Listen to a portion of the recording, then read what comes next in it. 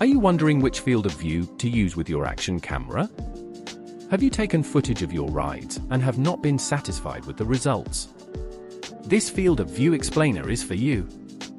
Field of view or FOV selection on your action camera can have a massive effect on your footage and how it is perceived by your audience.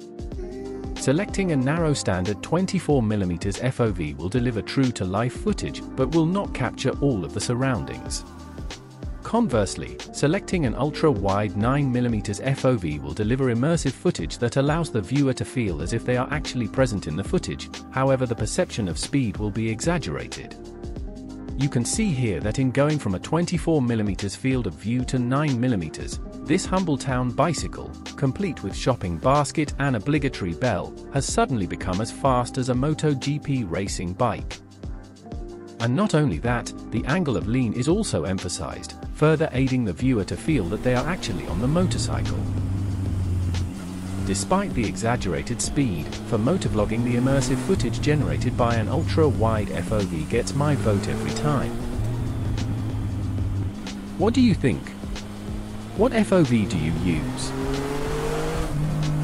Don't forget to like, subscribe, and let us know your thoughts in the comments.